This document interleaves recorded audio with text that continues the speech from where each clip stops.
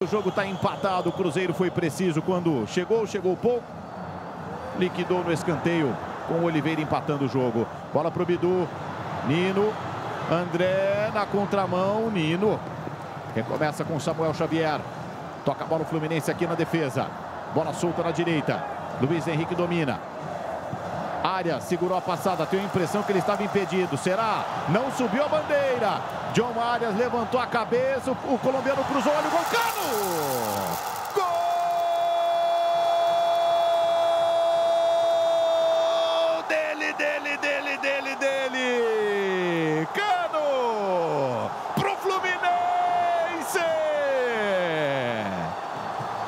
O artilheiro castiga de novo. 22 gols em 36 jogos. Que marca é essa para o argentino? John Arias escapou pela ponta, tive impressão de impedimento. O bandeira diz que não. O colombiano levantou a cabeça, cruzou na segunda trave.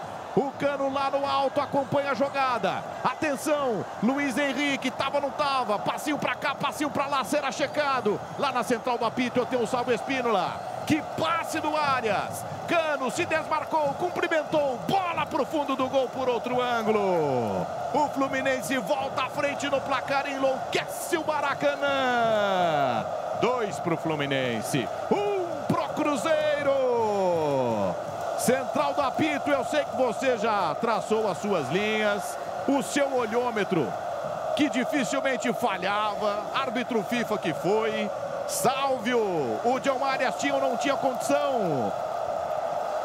Na hora do movimento, da passagem, na hora do toque, a posição me pareceu legal, Vilani.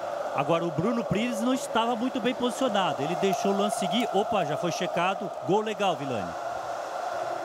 Vamos pro jogo. Gol legal. Valeu, valeu. Gol do Fluminense que volta a vencer no Maracanã 2 a 1.